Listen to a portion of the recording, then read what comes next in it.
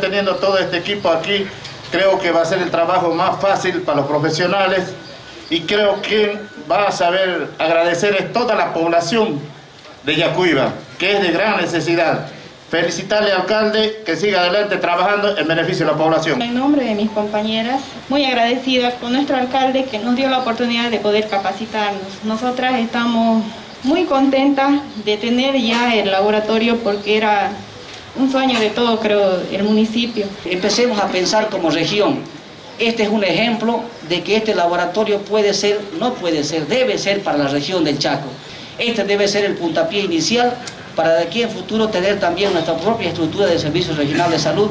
Agradezco nuevamente las gestiones realizadas. La importancia está en que se requieren realizar exámenes de laboratorio COVID y otras enfermedades en el menor tiempo posible y en tiempo real, es decir, de manera inmediata. El Chaco aspira por ello a tener este laboratorio que hoy lo concretamos con entrega.